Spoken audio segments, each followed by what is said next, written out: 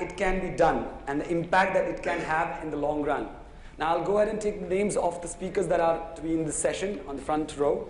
That will be Mr. Naresh Duble, DGM Training and FMD Armstrong, Colonel D, Dr. K.S. Saini, that is Principal Saint Kabir School, Hisar, Uttara Singh, Principal, the Sri Ram Millennium School, Noida, Rachna Pant, Principal Ramjas School, RK Puram, New Delhi, Vikesh uh, Beniwal, Director, Bansi Vidyalaya Niketan, Senior Secondary School, Ballabgarh, J. Ajit Prasad Jain, Senior Principal, Bharati Vidya Bhavan, Rajaji Vidya Ashram, Chennai, Anita Vadera, that is Principal, Darbari Lal DAV Model School, New Delhi, Kavita C. Das, Principal, St. Joseph High School, Chandigarh, Farzana Shakil Ali, Principal, City International School, Lucknow, Indu Khetrapal, Principal, Salwan Public School, New Delhi,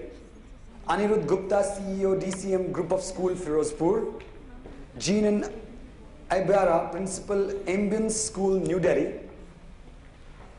Jaya Bhardwaj, Principal, Hansraj Public School, Panchkula, Ramjit Guman, Principal, Indus World School, Ludhiana, Rama Dutt, that is Principal, Sanskar School, Jaipur, Anuradha Gupta, Principal, the Sri Ram Millennium School, Faridabad, Yasim Contractor, Principal, Summerfield School, Gurgaon, Ritu Gupta, Principal, Indraprasth Global School, Noida, Raj Kumar Sharma, Principal, Satyug Darshan Vidyalay, Greater Faridabad, J.C. Chawla, Principal, Dayawati Modi Public School, Ghaziabad, R.S. Panwar, Principal, MDN Public School, Rohtak, Dr. Meera Sharma, Principal, DAV Public School, Amritsar, Yudhir Singh, Director, Goyala Progressive Public School, Palwal, Willibrod, uh, George Principal, St. Willibrod High School, Mumbai, Dr. Satyabrata Minektan, Principal, ODM Public School, Bhubaneswar, Jayashri M. Tripathi, International Educator and Advisor, Global Education Program, Shika Banerjee, Principal, Seth Anandram Jaipuria School, Kanpur. So there are a lot of names that I've read. I'm not sure how many of you are here right now because there's some of them who are joined a little later. So we'll be starting a session. William, uh, you can please take over the session now. Great, thank you very much. Uh, is my color mic working? Great, okay, thank you. so uh, I'd just like to start very simply by uh, telling you how I got here, really. Um, this morning, I mentioned the school that I attended um, and the fact that my nieces both attended the same school. Uh, that was way back in the 1970s. I, I then went to the University of St Andrews in Scotland, uh, where I studied modern languages and graduated in 1980. And immediately after that, I, I went into school teaching and I taught for two years in the United Kingdom, teaching English. Um, then I decided that I didn't want to remain in the UK for the rest of my life, and I started a, a certificate in teaching English as a foreign language. Uh, immediately after that, I went to Saudi Arabia, and I stayed in Saudi Arabia for seven years, working first of all in the primary section of an international school for Arab children. And that really was a case of jumping in at the deep end. I had had very little preparation for uh, that experience. Uh, so I think that experience as a whole was, for me personally, extremely innovative. And looking back, I can see that I received some fairly good support from my school principal at the time. But that was in the old days, that was in the 1980s. I, I then joined the British Council, uh, where I worked for 15 years, four of which were spent in Pakistan as the manager of the British Council's examinations business. And um, during that time, I became very familiar with Cambridge examinations. I then left the British Council and joined Cambridge International Examinations, which, as you may know, is uh, one of the providers of international programs and qualifications. Operating globally, very much operating here in India, where I work with a small but perfectly formed team. I think they are both sitting in the room. Rakesh, I can see you there. Vinayak, is he in the room? Yeah, thank you. Vinayak Sudhakar and Rakesh Konjingbam. So we're, we're part of the Cambridge team supporting international schools, and indeed I can see a few principals here who are using Cambridge programs.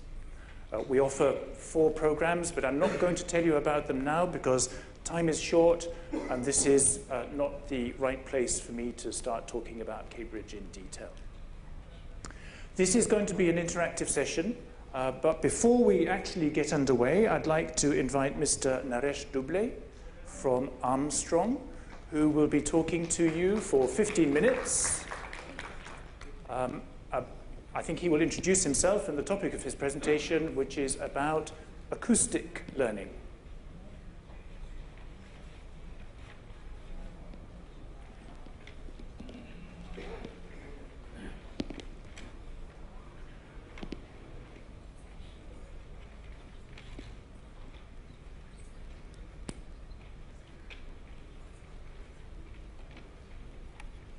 Uh, myself, my name is Naresh Duble, and I really thank you for the gift of your time and attention.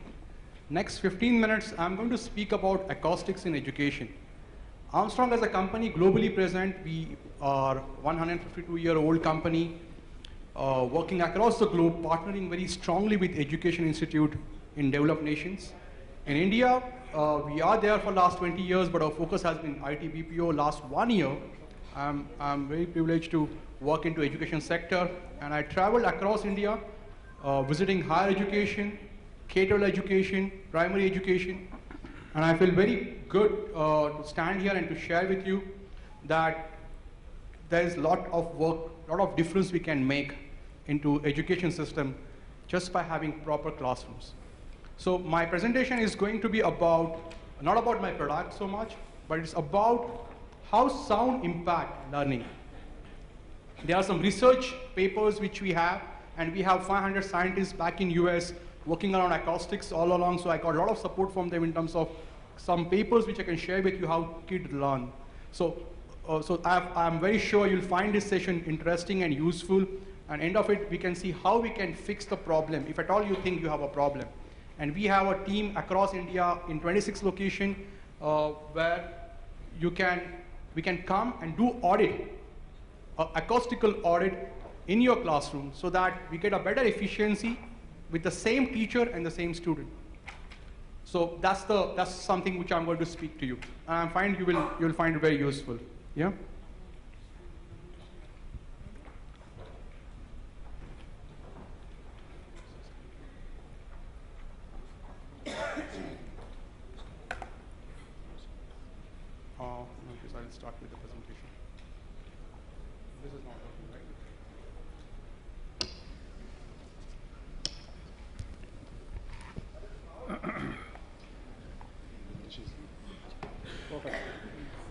I'm going to speak about something very common sense, and we all know the common sense is most uncommonly used in business. So school offers students, this is what we said and we discussed in the last session also, uh, acoustical solution for leaders of tomorrow. We're talking about innovation and leadership. The creative man is motivated by desire to achieve, not by desire to beat others. And success and leadership is all about being better your former self than to worry about anybody else. And that's the definition we talk about innovation. So small improvement done over time lead to stunning results. And we all know that and we all teach about this. But this is situation what we have in our school. So as a principal, as an owner of a school, how many times or how many occasions in a day your kids tell you that I can't understand you? Or how many times you don't understand what kids is saying in a room? And this is very normal situation in Indian school uh, industry. For that not to happen, or rather to have a very successful school, we need to have an intelligibility of the sound. Now, what it means is you understand what I'm saying and I understand what you are saying in a given space. For that, we need to have a proper design of the school and a proper treatment to be done. In our current education systems, it's not sufficient for someone to sit in the class and just attend the classes. You need to understand, assimilate, and reproduce in the exam to prove that he is good or school is good. So we, we need to be really mindful about whether we have a sound clarity in our classrooms. And once we achieve a sound clarity, we need to protect that sound clarity from mechanical noise. Now, noise is anything else than teachers or student noise in the classroom. A fan noise, maybe an air conditioning noise, a street noise, a noise coming from an atrium in own school, a neighboring school sound, all is noise which distract the learning in the classroom. So this is a snapshot of Indian indu uh, education industry. We are going across India and actually taking an audit, seeing how much is the background noise and how much is the reverberation time. Now background noise is easily measured. You have a smartphone, you can have an app downloaded called Sound Meter and you can go to your school tomorrow morning and see what is the background noise you you are teaching in. And we will see the implication of background noise in learning. Reverberation time is a little technical. Uh, we learn it in all physics, but it's, it's, a sound, it's a time required for sound to die by 60, deci uh, 60 decibel. You and me as a human being without an answer can speak at 80 decibel, 75, shouting. 120 bomb blast. So even the, this speakers is like 90 decibel, 95 decibel. 10 decibel more is double, double the sound, that's acoustics. So as a human being, we have a limitation to speak beyond 70, 75 decibel. Now, if you have a school which has a background noise of 50, 55 decibel, you know what happened with the teacher's voice. And we all are a victim of it in a way. So uh, I have a small uh, TED talk. Uh, now, TED is a platform we all know where the best in the world come and share their knowledge. And this is the TED talk about acoustics. I'm not going to play the entire TED talk. I'm just playing a clipping which is pertaining to education and acoustics uh, in, in, in education. And uh, Julian Treasure is a scientist from UK and he's going to speak about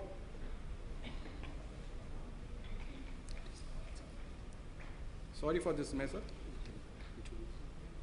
yeah TED cut. Yeah. so this is a clipping from the TED talk and sound here please. Room that looks like this. Can you imagine how this sounds? Iron force education. So he's going to talk about uh, education classrooms and impact of it. He just covers in next three minutes when I see a classroom that looks like this, can you imagine how this sounds? I'm forced to ask myself a question. now, that's a little unfair. Some of my best friends are architects, and they definitely do have ears, but I think sometimes they don't use them when they're designing buildings. Here's a case in point. This is a 32 million pound flagship academy school which was built quite recently in the UK and designed by one of Britain's top architects. Unfortunately, it was designed like a corporate headquarters with a vast central atrium and classrooms leading off it with no back walls at all. The children couldn't hear their teachers. They had to go back in and spend £600,000 putting the walls in. Let's stop this madness of open plan classrooms right now, please. It's not just these modern buildings which suffer, old fashioned classrooms suffer too. A study in Florida just a few years ago found that if you're sitting where this photograph was taken in the classroom, row four, speech intelligibility is just 50%. Children are losing one word in two. Now, that doesn't mean they only get half their education, but it does mean they have to work very hard to join the dots and understand what's going on. This is affected massively by reverberation time, how reverberant a room is. In a classroom with a reverberation time of 1.2 seconds, which is pretty common, this is what it sounds like. In language, infinitely many words can be written with a small set of letters. In arithmetic, infinitely many numbers can be composed from just a few digits with the help of the simple zero. Not so good, is it? If you take that 1.2 seconds down to 0.4 seconds by installing acoustic treatments, sound absorbing materials, and so forth, this is what you get. In language, Infinitely many words can be written with a small set of letters. In arithmetic, infinitely many numbers can be composed from just a few digits with the help of the simple zero. What a difference! Now, that education you would receive, and thanks to the British acoustician Adrian James for those simulations, the signal was the same, the background noise was the same, all that changed was the acoustics of the classroom in those two examples. If education can be likened to watering a garden, which I think it's a fair metaphor, sadly, much of the water is evaporating before it reaches the flowers, especially for some groups. For example, those with hearing impairment. Now, that's not just deaf children, That could be any child who's got a cold, glue ear, an ear infection, even hay fever. On a given day, one in eight children fall into that group on any given day. Then you have children for whom English is a second language, or whatever they're being taught in is a second language. In the UK, that's more than 10% of the school population. And finally, after Susan Cain's wonderful TED talk in February, we know that introverts find it very difficult to relate when they're in a noisy environment doing group work. Add those up, that is a lot of children who are not receiving their education properly. It's not just the children who are affected, though. This study in Germany found the average noise level in classrooms is 65 decibels. I have to really raise my voice to talk over 65 decibels of sound. And teachers are not just raising their voices, this chart maps the teacher's heart rate against the noise level. Noise goes up, heart rate goes up. That is not good for you. In fact, 65 decibels is the very level at which this big survey of all the evidence on noise and health found that that is the threshold for the danger of myocardial infarction. To you and me, that's a heart attack.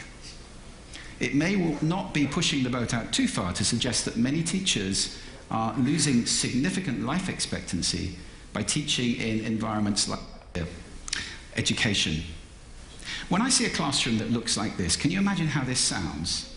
I'm forced to ask myself a question. So my next question is, uh, yeah, go back to. Who is at more risk in the school? You know? yeah, teacher, but uh, the students are giving time of their life. Now we have Indian education system where topper sits in first two rows, and even mother tells his kid, please grab those seats, a golden seat. If you sit in a back bench, you're going to be a backbencher. Now, are we not refusing education to half of the kids in the school ongoingly, class after class? Schools, kids are not effective listeners. They are like Taare Zameen Par. You know, we have this famous movie. So any external stimulus, any thing which, which attract them more, they will go into their own journey and they will get diverted from the core topic. So we need to have a responsibility to maintain a clarity of the sound in the space which we teach in as you said, the 20% of students are not in the best form because of the ENT infections and stuff like that. A new event of iPod and mobile phone also giving some permanent hearing loss to the kids. So we need to have more acoustically attuned rooms if we need to teach the students and need to learn from them, whichever way you do it. Uh, English second language, big problem. You know, and if you have an acoustically improper room, even book will sound like bark, book, bark. Forget about technical words and scientific words. And hence, the languages is always suffered in Indian education. We have produced great engineers and good scientists because those are the subjects which are taught on the board. The communication happened primarily in, in, in sign and in written communication. The verbal communication, even IITs and IIM students are not so great at presentations. we all know that. So we as an adult, if we go into the classroom and sit on the last bench, we may not find the class so bad because of the graph out here down there which, talks about how kids listen. Our hearing instrument get developed as we grow. If you are six year old, if the background noise is one decibel more than the source of the sound, you hear nothing. And as you grow, 15, 15, 16 years, you can get better at listening even a 5 dB background noise or 6 dB background noise. So this graph, a study done by Acoustic Certified Education, talks about if articulation index, which is objective measure of the clarity of the sound in the space, is 0.8. Uh, adult can get 100% word. The young one will miss 10%. But what we have in our system is around 0.6 or 0.4, where 20 to 50% words spoken in the class are missed by the good part of the students. So uh, this is a case study which I want to really show it to you, which is uh, a school which is extremely successful school, but has hard ceiling, hard wall, hard floor, and reverberation time in the space is 1.3 to 1 second. Uh, our hearing instrument, if we get sound coming back to us after 0.5 seconds, we can hear it distinctly. So uh, acoustical norms across the globe for schools is 0.4, 0.5, 0.6. In different countries, we have none. Uh, we're going to work, we are working with NUPA, and the first paper is going to get out from NUPA on acoustical guidelines. And, and Griha has released Prakruti rating for school system, which talks about background noise only. We don't talk about reverberation time. But reverberation time has a huge impact in the way we teach and way we learn in the school. So we got it down to 0.6 seconds, and uh, this is a feedback, a very short video of a teacher. She's talking about what she felt after the treatment is done, teaching in the same class. started out with my usual tone, which is loud because I'm hearing a lot of extraneous sounds, pencils, paper, windows, um, and I did not hear that today. It was, it was great. I was just hearing their voices, and I also noticed that I could hear them better. They were talking softly today. I could hear them better. Usually I get some hesitation after I ask a question. And I find myself repeating the question, or did everyone hear the question? I get a lot of no's. Today I found that I was able to do more teaching in the same amount of time. I felt like I was closer to my children today, and they were closer to me, instead of always reaching and straining. Overall, the kids seemed more interested, and I think it's because they didn't have to focus on me telling them that I can't hear you, or their classmates telling them they couldn't hear them. And then I think it just was less of a distraction. So what she said was extremely profound, uh, that she could do more teaching in the same amount of time, and uh, she felt connected. We all know when we teach in the class, when we are connected with our audience or we are connected with our students, uh, it draws the best in the teacher.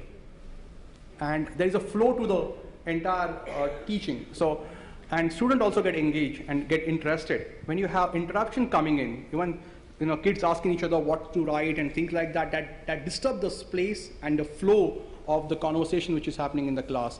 And so what make a great school a great school? Yes, education, yes, all those other philosophies which are talking in other sessions, but we need to have a basic parameter of connection between a teacher and a student, which is the heart of learning in that space. So it impact every hour, every second, every minute of education learning happening in your classroom. So what we want is a direct sound from teacher to the student going directly. We, we are okay with early reflection. The hard surface behind teacher is great. Two minutes. Yeah. Uh, what we don't want is a late reflection as an echo. And that is done just by managing size, shape, and surface treatment. These are the three parameters we have, and that's physics, that's like gravity. You know, it doesn't change. So the most economical way of doing it is to put a ceiling which is absorbing material on the ceiling because that's omnipresent, uh, which have another benefit also. Other way is if it's a large enough, then you put treat walls. If you, it is a further large, then you have some elements like this coming in, which can distract the sound path. And last one is to do carpet, which is difficult to maintain. And once we do that, once we have a reverberation time less than 0.5 second in a classroom, we need to be mindful where our windows are, where our ACs are, where the sounds are coming in. So barricade all the noise which coming into learning place. Even the fan should be good one, not making good, good, good kind of noise.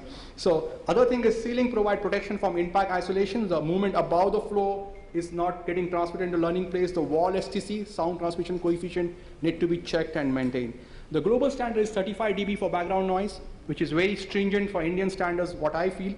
Uh, we can work around 45, that's what GRIHA and VHA and GRIHA has put into the Prakruti rating system for existing school. 45 dB is a good noise because you have a choice to modulate your voice. If you have a 55 dB, you are only shouting. And then the teacher and a student relationship is hostage because he is talking to somebody who is shouting at 75 dB. That's one thing. Second thing, language, I can say I love you in 10 different ways. And each I love you means different thing, depending upon how I say it. But when you have a high background noise, teacher speaking at 70 decibel or 65 or 75 decibel, you cannot modulate the voice. So language communication, learning is completely impaired because of improper environment in which we are teaching. So with the same level, same quality of teachers and the same quality of students, India can produce far better results immediately if we just became mindful about in the space which we are teaching in. So this is a small brief about Armstrong, which I already told about. We are very responsible manufacturer globally, present for 150 years.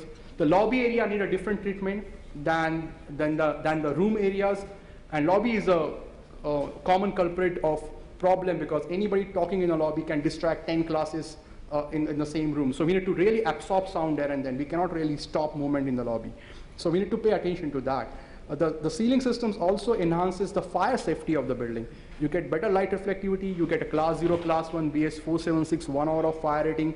Uh, your library need to be treated differently than your, uh, than your lecture room and a teacher area need a different treatment.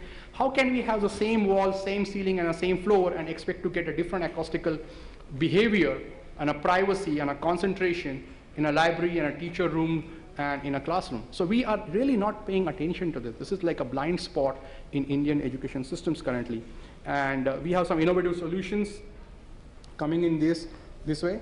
So this is a uh, lecture hall. We have some solutions for wall treatment. And our teams are there across India. Uh, we will be sharing our contact. We can come and do audit in your thing. We can recommend what need to be done. And then you can take a choice of you know, choosing it and doing this way. So we have some wall solutions where auditorium can be treated. And auditorium and uh, lecture hall is always treated because the reverberation time is 2.5, 3 seconds kind of thing. But what we live with in most of the school, 99% of the school is one reverberation time where we saw all those problems are possible. So I want to sum up saying, you know, we work to inspire the great places what we have, but this is a time to get into innovation in terms of making sure when we go back, we listen to our places more intuitively. We, we work with, you know, designers and authorities in the school so that we make our place fit for the purpose, which impact quality of our life, our health and well-being, our social behavior, and our productivity. Thank you so much. Thanks for your listening. Thank you very much. Uh, um, I think that is a, a fascinating topic uh, for us all to hear about and very much the need of the hour. We all work, most of us are working in uh, large schools, and those schools are inevitably extremely noisy. Noisy places and sometimes quite distracting places to work, both for teachers and for students. So, uh, uh an excellent topic, and, and many thanks. Um, my, my, belief is that uh, one of the reasons for coming to a conference is, is networking, and another reason for coming is sharing. And uh, so I'd like to follow that principle for the remaining time that we have.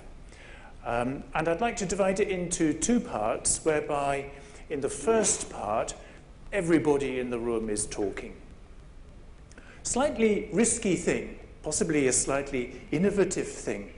Uh, and it reminds me slightly of a situation where a classroom is very uh, teacher centered, where a lecture is being given, uh, students are taking notes, uh, they go back, uh, learn it up, mug it up for homework. There's a test the following day. And many of us are trying to move away from that to a more child centric classroom where students are possibly working in pairs or in groups. Um, one of the fears is that the noise levels rise, um, which could often be confused with poor classroom management. Um, but I'd like to have a, not a noisy ballroom, but a, a, buzzy ballroom in a moment. And I'd like you all, all of you, to think of an example of successful innovation in the institution where you currently work or where you have recently worked. Uh, innovation that was embraced by colleagues. It doesn't, at this point, it doesn't have to be connected to the classroom. Uh, we have talked a lot about technology, but I'd like you to consider other forms of innovation. Some of you are not working in schools, so we could also consider new ways of doing things, new ways of communicating, for example. And earlier this morning, we had uh, somebody who was talking about uh, sports, and I think the brand name was Ready, Steady, Go. And when I say Ready, Steady, Go, I would like you to turn to the person beside you and share that example of successful innovation. We haven't quite reached that point yet. The second part will be sharing best practice. And the uh, people who are sitting at the circular tables, who I think have prepared uh, points to make at this session, uh, I will invite them to make their points, and then we'll build on those points, share them, see where it goes, and hopefully we'll end roughly at the correct time. I know that some of us have got flights to catch. Okay, so um, the task, fairly simple and fairly straightforward. It only works if you have a partner. So if you're sitting by yourself, or if you're rather far away from another person, would you kindly move? And the task is simply to share an example of successful innovation in the institution where you work because there is lots of good innovation taking place all over the place. And we're at a conference where we're going to share some of those great ideas. Okay? So, ready, steady, go.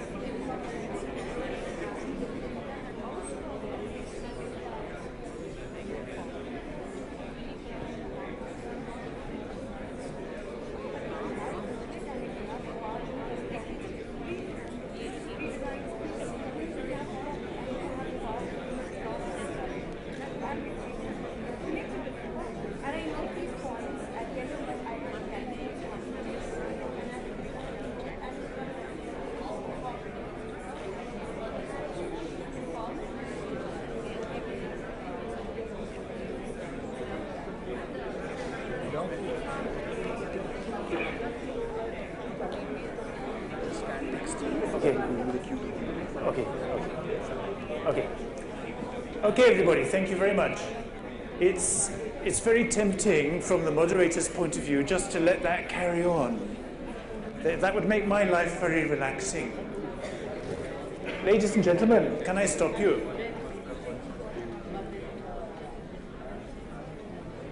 Uh, we're starting the discussion again.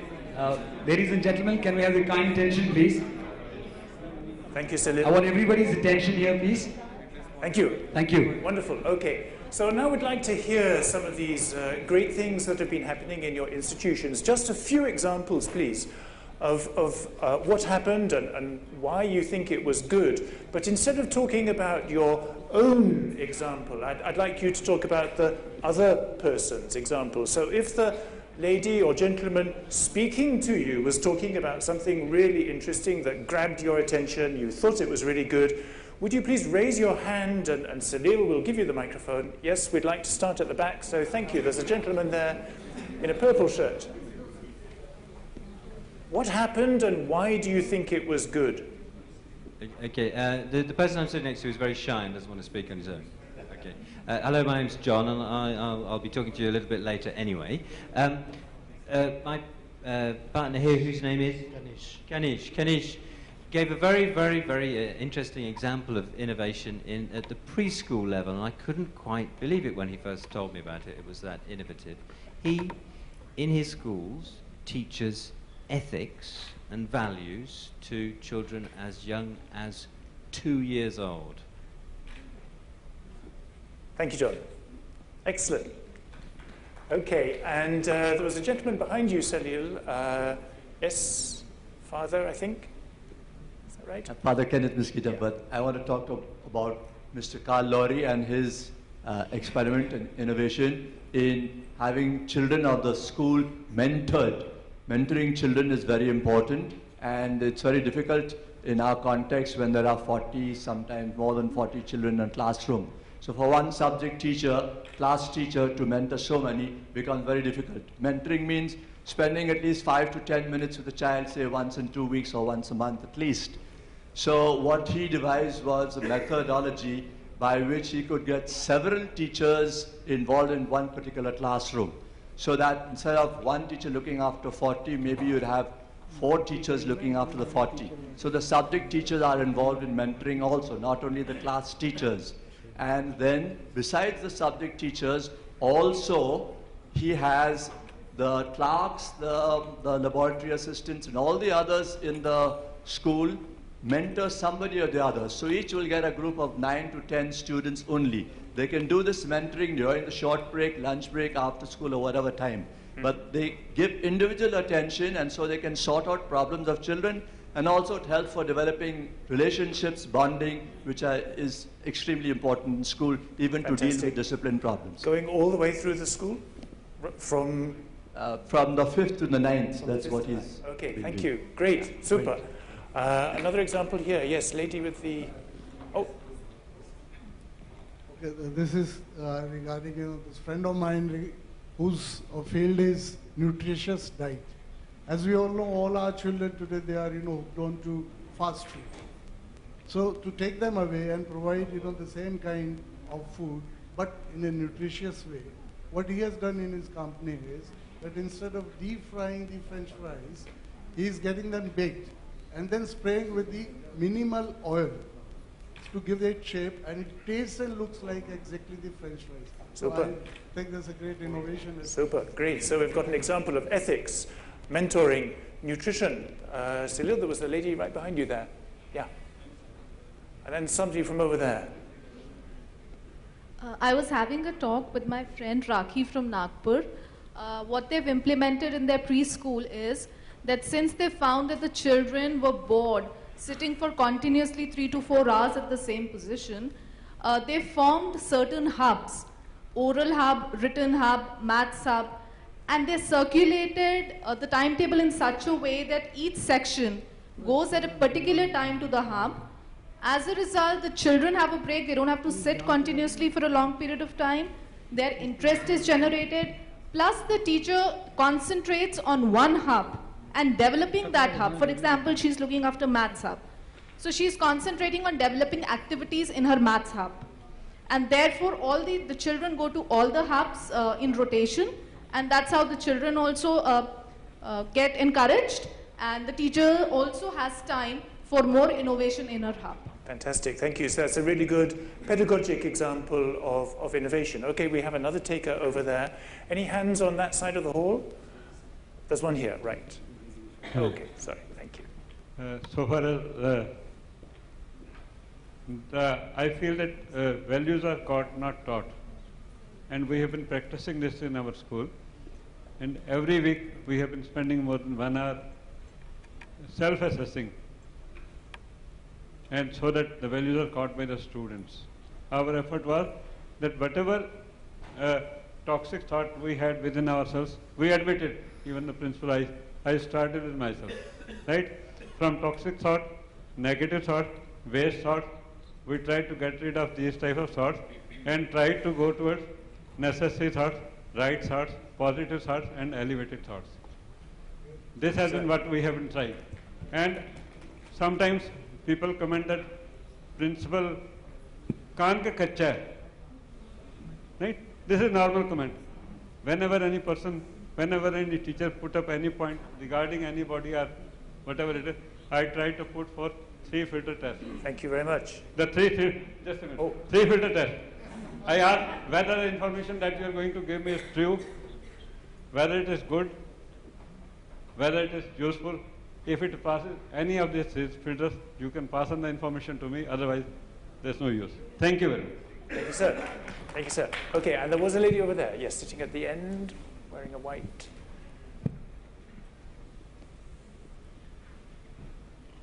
Yeah, good afternoon, everyone. Uh, we have got two innovations exactly. Um, if I give my introduction, it's like uh, he's my father. He's the founder of ODM Education Group. I'm just accompanying him over here, and uh, I'm currently a student in Bachelor of Architecture in KIIT University. So I wanted to say that the two innovations what my father's school has actually got. Uh, first innovation is from last 25 years. We are we are we are working on human excellence. And we have got certain peer specified period on value education from grade 1 to standard 12 people. We teach them what is human etiquettes all the human values. And for that only we have got a good recognition in our state and we are the only and only school who follows this in our state. And second, second innovation is the last year we got a national recognition for we, we made a shoe it's like walk a mile and charge your instruments laptop phone ipads everything. It's like uh, through a shoe, when you walk, it will get charged. And um, we won even national awards. We made this APJ Abdul Kalam for this uh, innovation, and that's the thing. Thank you. Thank you very much for sharing that. Okay, any other urgent hands waving at me? Yes, maybe the last, the last hand for part one, here in the middle.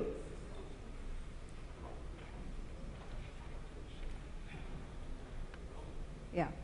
Uh, good afternoon.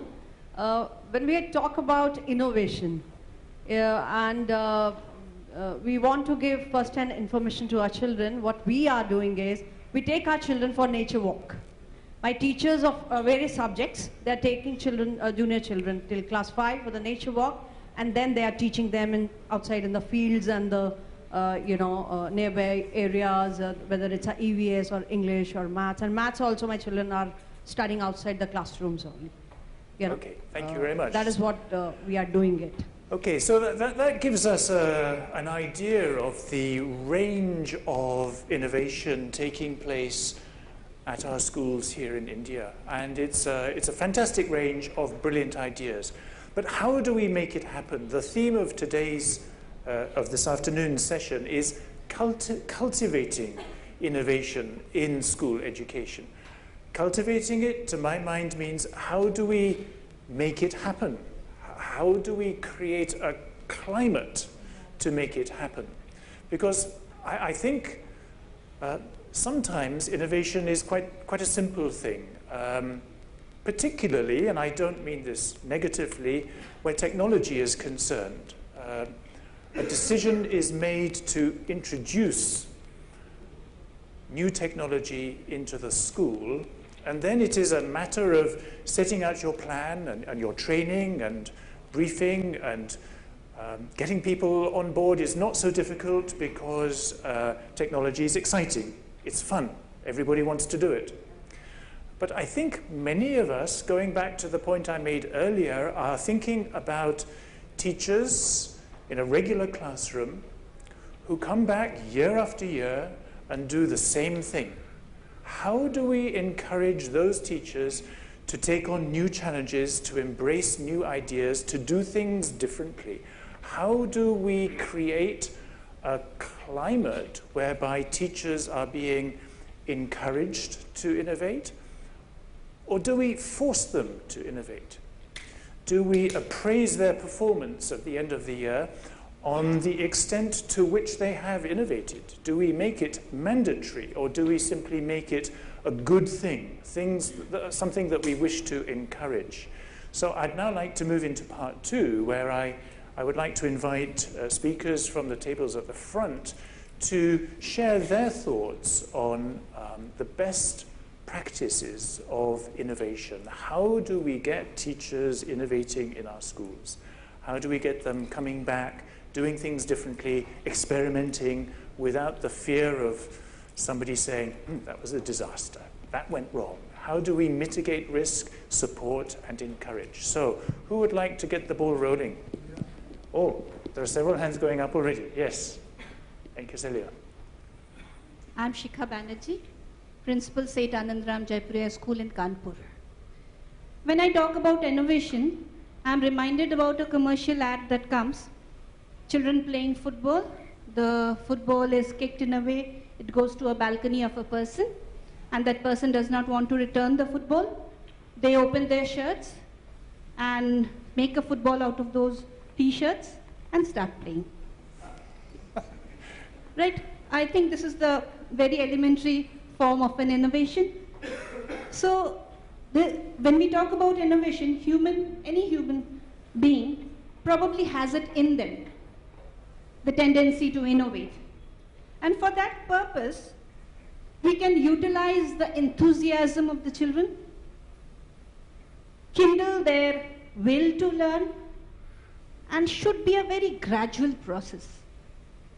Anything abrupt, I think, will not work well. Mandatory, of course not. And it has to be the willingness of the teacher. Okay. The teaching should decrease, the learning should increase. And teaching and learning are not the same. Teaching is by the teacher, learning is by the student. Thank you. So you, you picked up on the point I made about making it mandatory. You, you said it's in us. We are all innovative. We are all creative. Let it come out naturally. But what happens if it doesn't come out naturally? What happens if you do find teachers coming back and repeating the same classes in the same way? Um, yes, ma'am. And, and feel, feel free to make a, a completely different point if you would like to do so. Uh, good afternoon. I'm Yasmin Contractor, Principal Summerfield School, Gurgaon. Here we have been talking about cultivating uh, innovation in school education. And I feel something, somebody that is most important in taking this forward is the principal of a school. Role of a principal and what steps she can take to better education, innovation in leadership is what I would like to talk about. Because a principal should be the innovation in chief, in charge of it all. She should uh, not, it's not that she's the only one who thinks about innovation, but when an idea has come through, she should not just delegate the responsibility. It is for her to take it on and move along with her team and take it, go right deep into it. And any innovation that hap happens should be an active innovation. It should be a visible innovation. Wherever, when, when you are innovating something, talk about it. Talk to parents, talk to stakeholders, talk to your children during the assemblies, talk in faculty meetings, talk to social media if it's required, because good, good innovations need to inspire people and they need to be shared and not to be kept to yourself. So the more sharing you do, the better it is. Then another thing is that make innovation an explicit core value of your school and ensure that you get adequate time for it unless you plan, you think, you, you know, unless uh, you keep that time away for innovation, and that really helps. And very important, give space to innovate. Give space to your teachers to innovate. Let them be risk takers. Failures may happen. It's all right. You learn from the failures and move ahead. But that responsibility, that innovation should happen. When you are hiring people, be cautious about it. Sometimes when you, you know, a person may seem really good, but if in depth, if you see if the person has lacks creativity, you will be hiring a lot of people who are not creative, who are not innovative. As a result, you know, the balance will not be there. And if you have like-minded people doing innovations, creativity, your school is going to flourish. Then, of course, uh, there should be a lot of uh, informal processes of knowledge exchange. You can go to schools which are close to your school, see what is the best practice happening there. If you know, if in technology is being integrated there, fine. What is good for them? What is? I think this these need to be shared. And if you know, if you can swap teachers and say, okay, my teachers will go to your school for three, four hours or three, four days, and your teacher can come to mine if you have that sort of a relationship with a neighborhood school, it really works well because then you understand how things are moving. And then, of course, very important in any innovation is ask why. If a thing is said, okay, I want to put my smart class there, why? So it's not enough that you say one why, one why would entail only one answer, okay, it's an intelligent, it's a good way to do it, everybody is doing it. But you ask why five times, you'll get five different answers and a holistic view of why that innovation needs to be done. Then another, as uh, he was talking about, is self-evaluation. I'll finish it. Yeah, I've got, I've got a few more Okay. people, but Right. you're So doing... This is what, I'll stop at that, and I will just talk about just too many small diverse fields. The result is an empowered, flexible organization. Thank you so much, ma'am.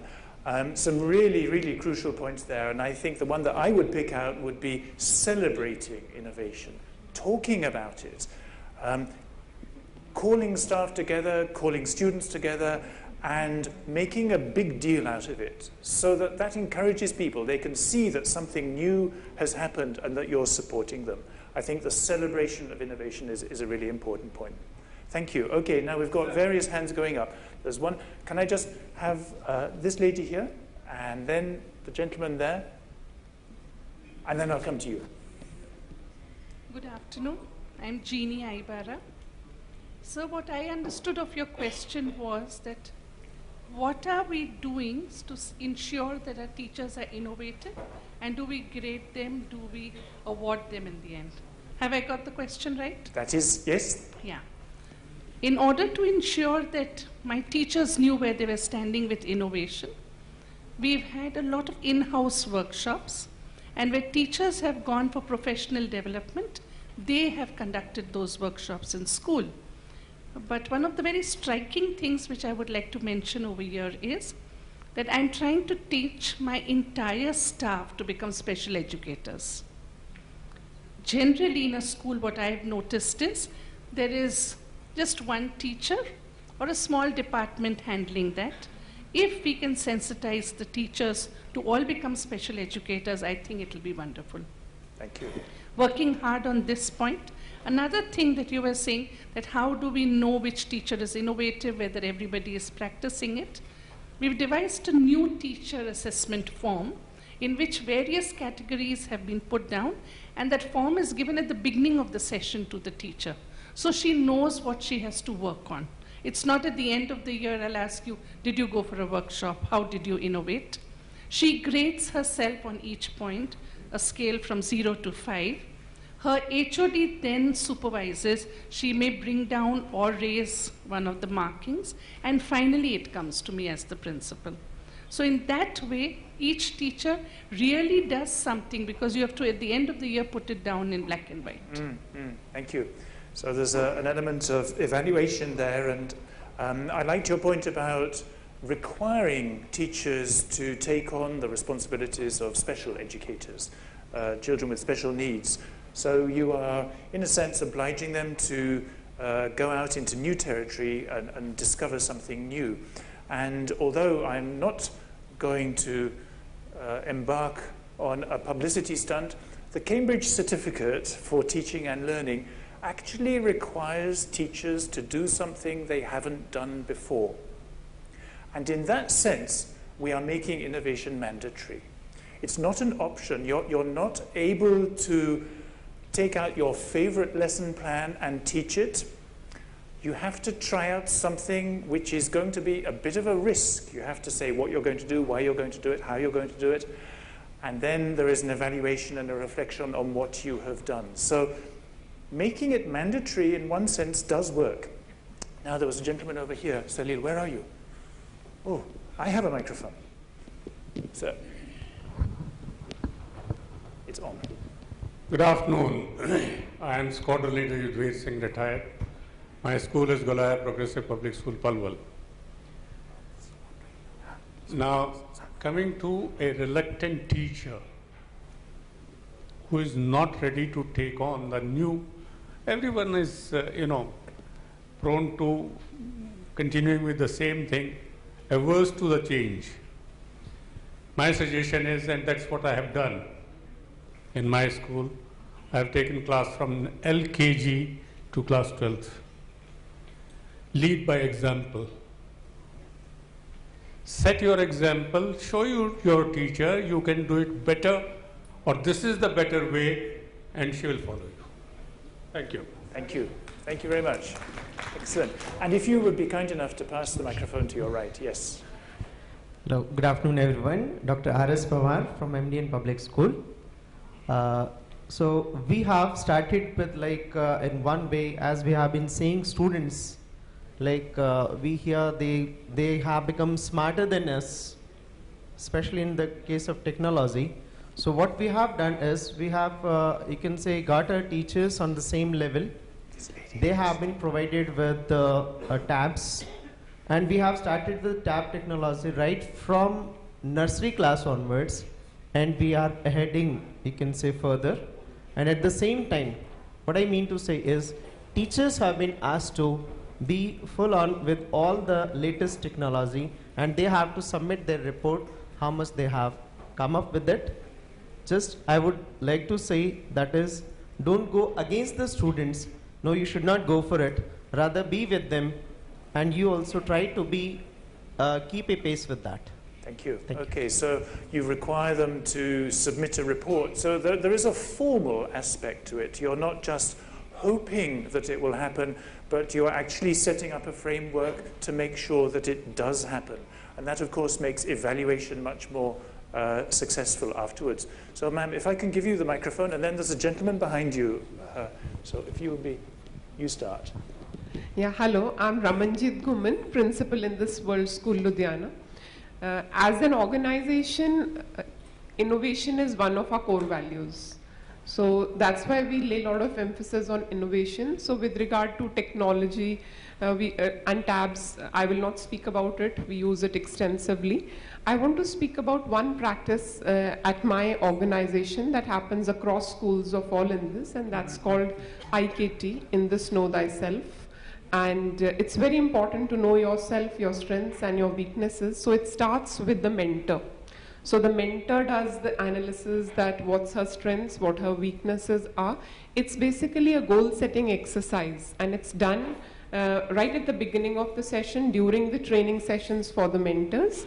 And the children have a weekly session and we help the children. We have devised certain goals that are behavioral and their academic goals, but they are just guidelines. The child could pick up any goal. So there's a goal I'll not tear paper from my pages from my notebook, or I'll not lose my temper. That could be a behavior, or I'll, I'll learn the tables till five, etc., etc.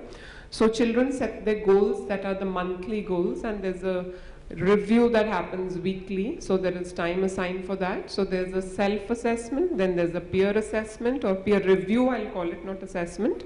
The mentor reviews it, and they have uh, at different grades it changes it becomes complex as they grow in years so it could be a smiley where they color if they've just followed it half then they color it half otherwise they color it full then the booklet goes home over the weekend then the parent reviews it and if four weeks consecutive weeks if the child can stick to the goal then the child becomes a goal champ and only and only then the child is uh, you know, have allowed to take on the next goal because often we as people just pick up goals and let them just be. So we are helping children to develop skills while they are uh, doing the reviews. Lot of skills come in, and while uh, you know they're picking up goals, at that point review comes in, and the uh, you know ability to take feedback, and that happens right from the top level of the management to the child in grade one. So it starts from grade one and it ends at the top management. So every mentor has to have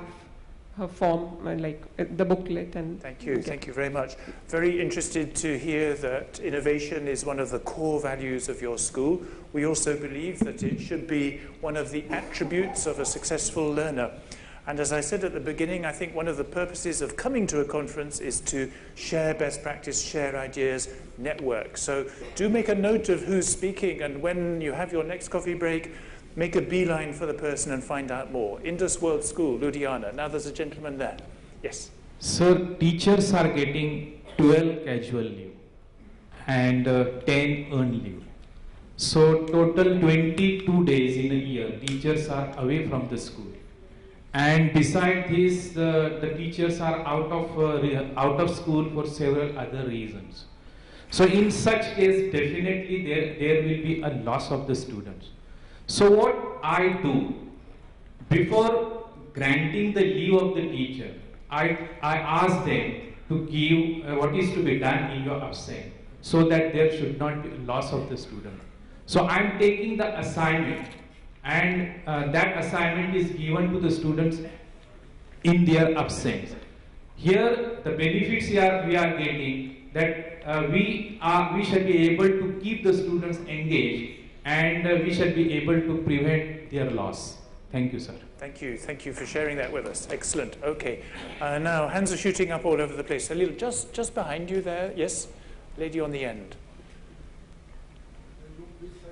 And, and yeah, you see, I focused Good rather too heavily over there, so I compensated. Now I've gone too far the other way. I'll come back to the middle. This, uh, I'm Ritu Gupta, Indraprastha Global School, Noida, principal. Uh, one uh, very uh, good uh, innovation that uh, I've brought into the school is at an experiential level.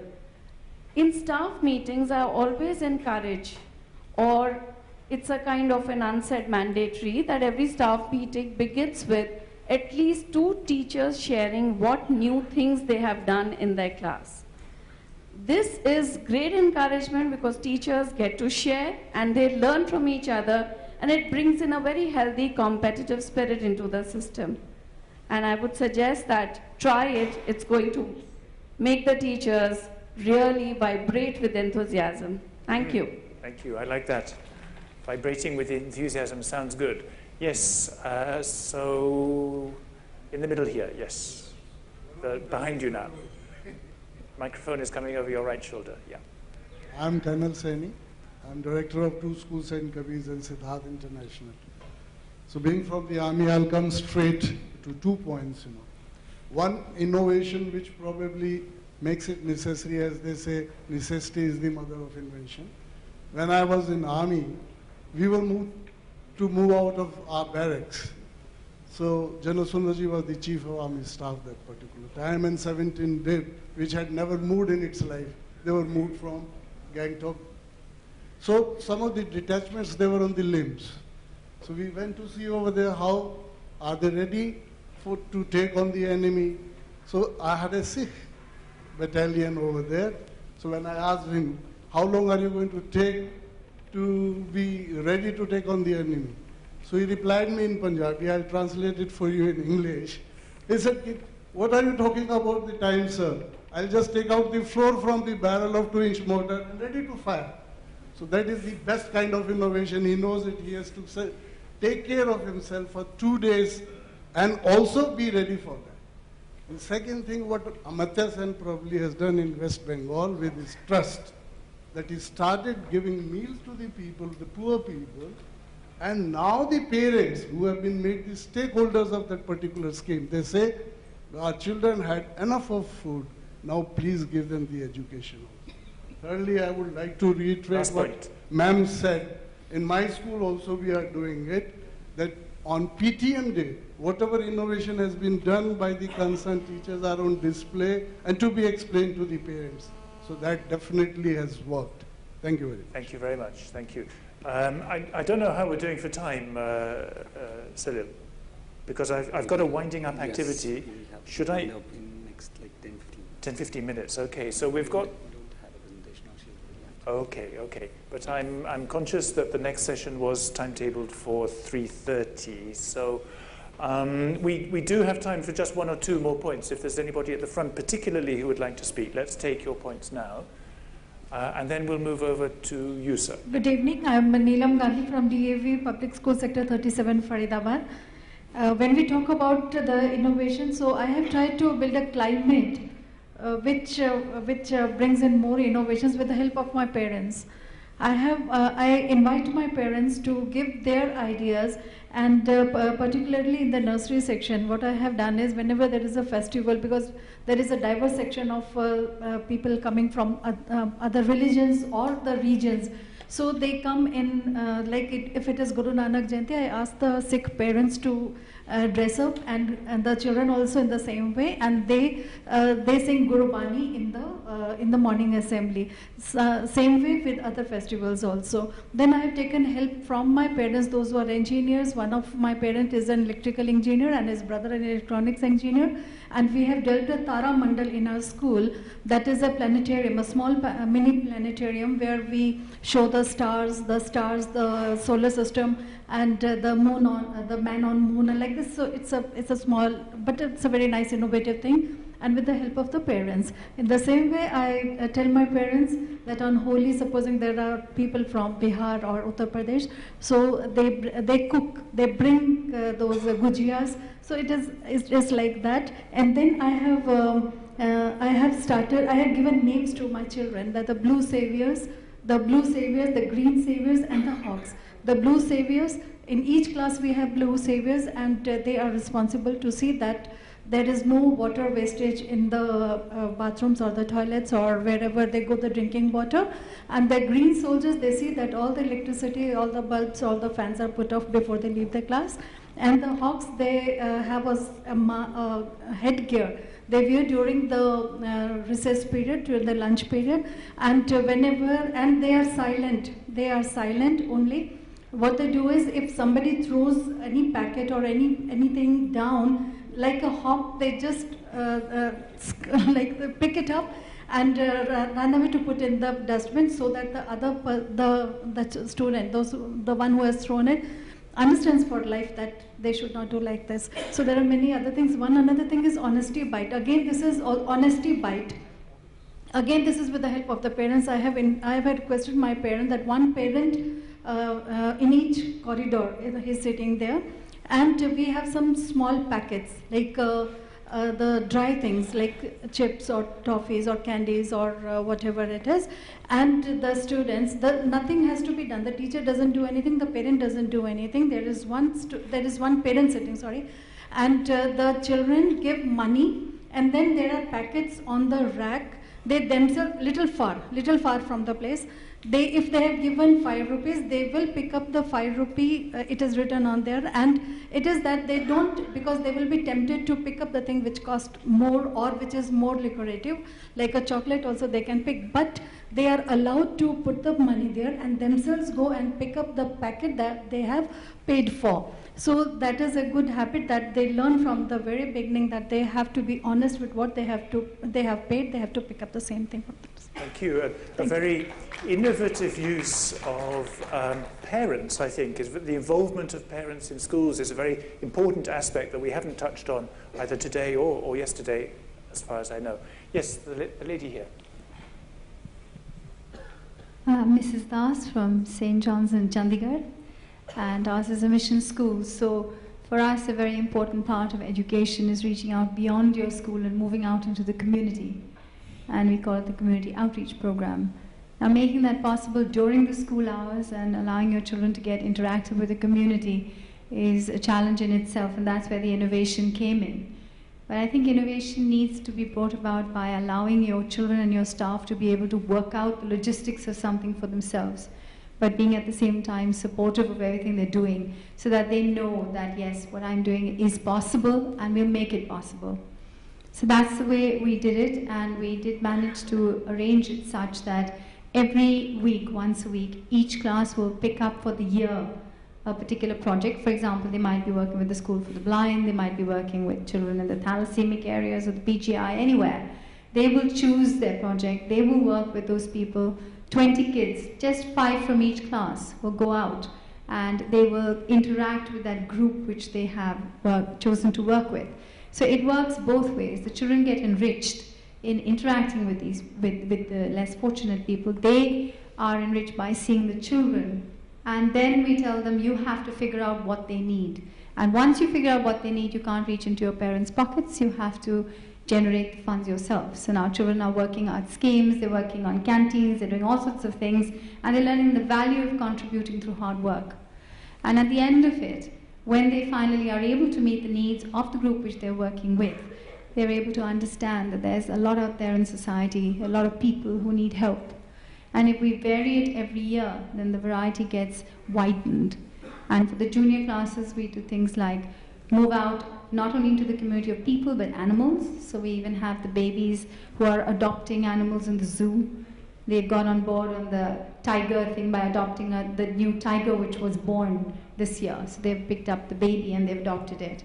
And these little things allow them to see that if we are to live as a community, if we are to grow into this world, then we have to reach beyond our schools and move outwards. Thank you, thank you. Thank you for sharing that. A very inno- innovative idea. And so, if I may give you the microphone. Thank you, sir. Myself, Dr. Meena Ketan, Principal ODM Public School. They hear that uh, innovation, my uh, point to speak here, that every child should be allowed for the uh, place for the innovation because it's my experiment what I have done just I'm sharing. So we had made one club that is called Disaster Management Club. During this Phailin in Odisha, just we had been to it, uh, that is a remote village where there was not two months there was no electricity, but just we had been to there after seven days. Just we stayed for three days without electricity and without uh, that just we are making the cooking food for the people those who are the homeless people. But that my student they could manage everything, but they could not manage themselves without mobile. So they are, they became much more worried. Sir, what to do? There is no mobile, there is no mobile, no laptop. So okay. So just I told you do one thing. So you please find out the way how you can manage your mobile without electricity. That just after two months, one child came that he invented that is my charger mobile. And that project has been awarded by APJ Abdul Kalam, what my daughter was sharing. So this is uh, the project and they have done. And it is uh, without electricity, just with that is a shoe they have a piezo that is one cell they have uh, made it. And if you walk a mile, you can charge that is the 5 to 10 mobiles that is at a time. So that is the innovation. Thank you, thank you. Everybody's worst nightmare, a mobile without charge. Um, now, I've, I've been asked to wind up, so uh, I'd like to go back to where we were at the beginning. Uh, we, we've had lots of ideas, innovative ideas, and we've shared those. We've also looked at ways of cultivating innovation in schools, and, and thank you very much for all of your contributions. And to finish with, I, I would like you to discuss again with the person sitting next to you how innovative you think you are. A little bit of self evaluation on a scale of 1 to 10, where 1 is not innovative at all and 10 is extremely in- innovative. Where are you? Or, if you don't like that question, you could also answer where is your school? Is your school 1, 5, or 10?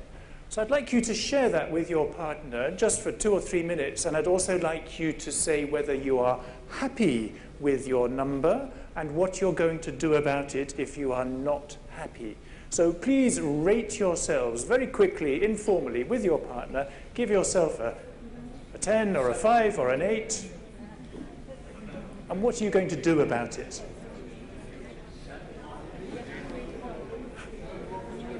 Right. That's it. That's it. Yeah. Over. Uh, yeah, I think it was. Yeah.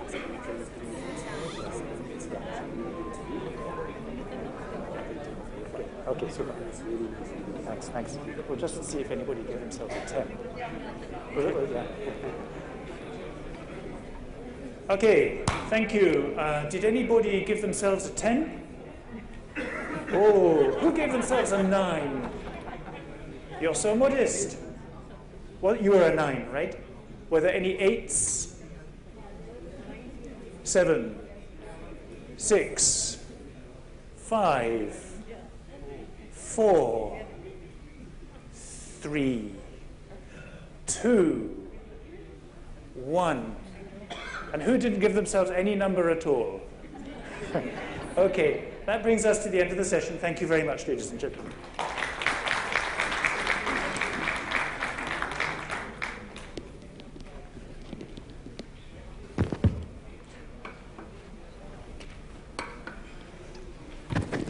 Thank you all for that wonderful session, and it was very interactive. Thank you, William, for that wonderful session on cultivating innovation school education. Now, uh, as you know, you've been doing this drill from past two days now. We'll be again doing it. So I'll be reading out names, and William, I would request you to please go ahead and give these uh, certificates to all the people who will be coming up on the stage. Uh, first will be Naresh Duble, DGM Training and FMD Armstrong. Let's give him a round of applause, please, gentlemen.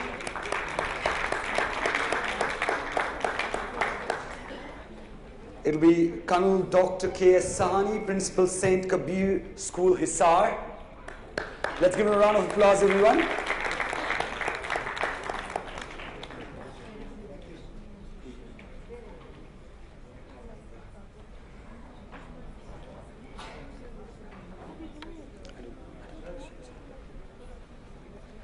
Mrs. Uttara Singh, Principal, Sri Ram Millennium School, Noida.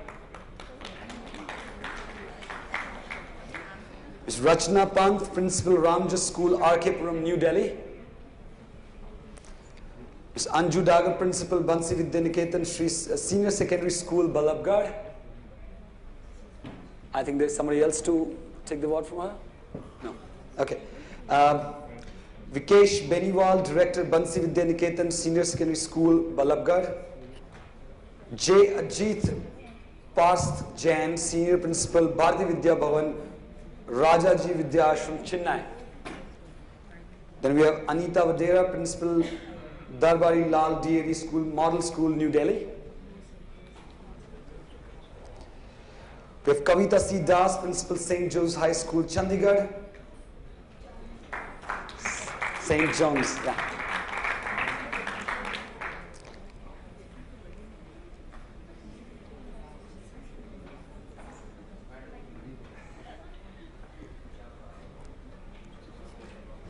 There are a few people who have already left for the, because they were late for the flights. Uh, one of them is Farzana Shakil Ali, Principal City International School, Lucknow.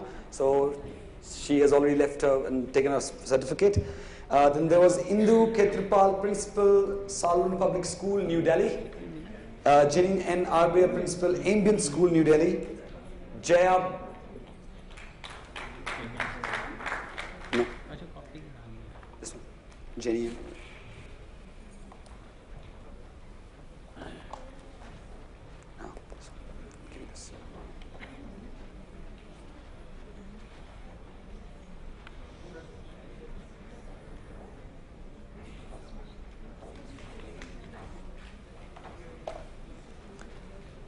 We have Jaya Bhardwaj, Principal Hansraj Public School, Panchkula.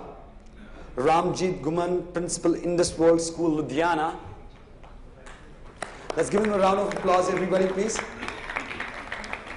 We're going to need this round of applause later by the award function, so this slow sound cannot work. So let's give them a big round of applause. Yeah, that's more like it. Thank you. And uh, we have somebody from Ludhiana. Okay.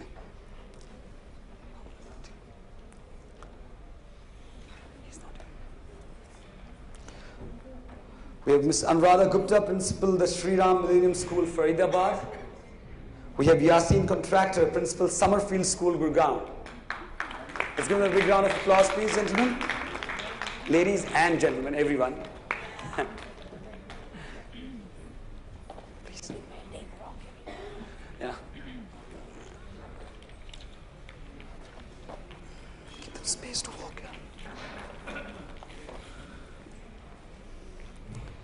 We have Mr. Ritu Gupta, Principal Indraprastha Global School, Noida.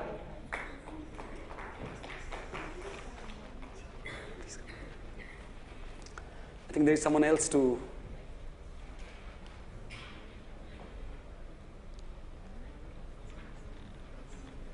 You've come on behalf of Mr. Ritu Gupta, right? Ramneet Kaur. So it Kaur will be taking the award for the Noida school.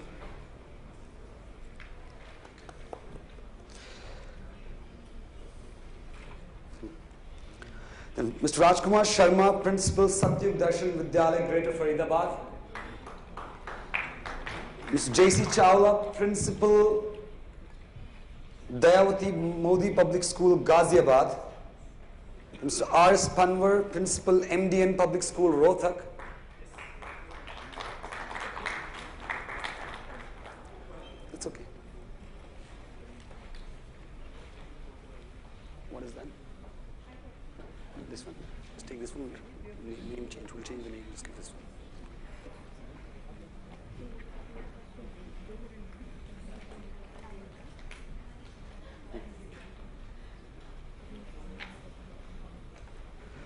There will be Dr. Neera Sharma. She's principal DAV Public School, Amritsar. Please give her a round of applause.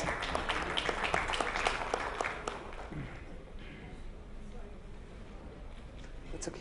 Uh, there's someone else to take it on uh, her behalf.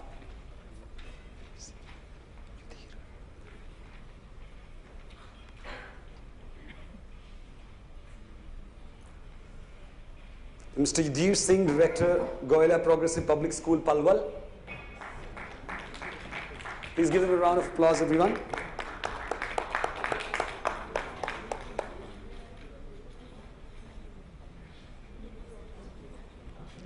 And there is Mr. Willibord George, Principal St. Willibord High School, Mumbai.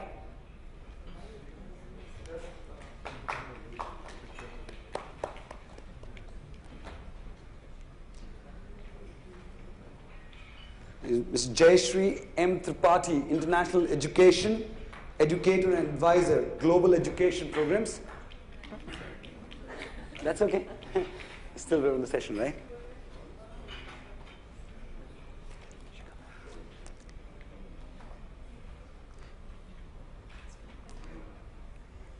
And our award goes to Mrs. Shikha Banerjee, Principal Seth Anandram Jaipuria School, Kanpur.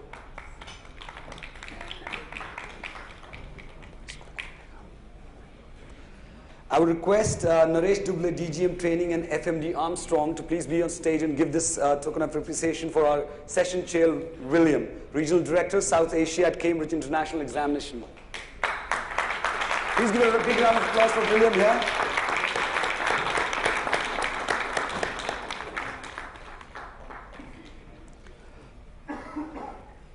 We have one more uh, certificate to give away. I think the gentleman is here. It's Mr. Anirudh Gupta, CEO, DCM Group of Schools, Firozpur.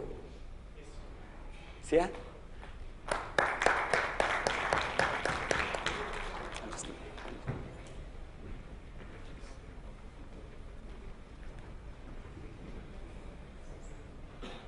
I would please request all the uh, certificate takers and everybody in speaker session, please come on the stage for a group photograph. William, just be there for a group photograph for a minute. I know you have a flight to catch, but still, just a minute here. And uh, please, everybody, come quickly. William has a flight to catch, very fast. Let's just ramp it up. Please be seated.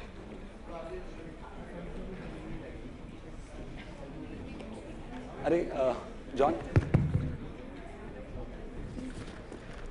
खड़े ले लो certificates के साथ।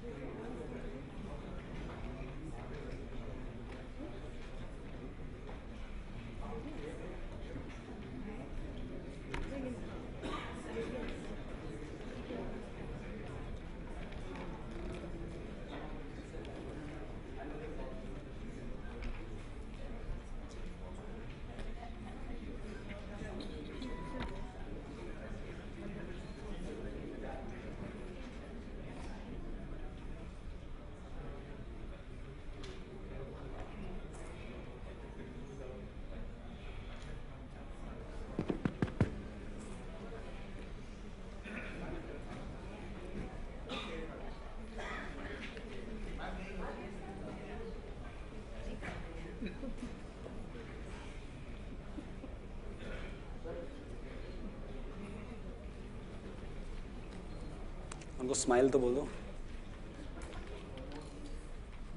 Sunil.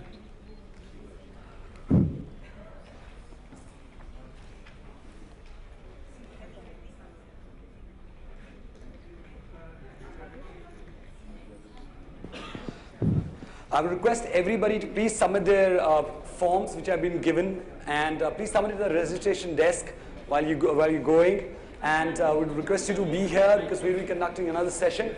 But if anybody is leaving, please submit your forms at the registration desk. It's very, very important for us to know that, you know, how do you feel in the session. Please do that. Thank you.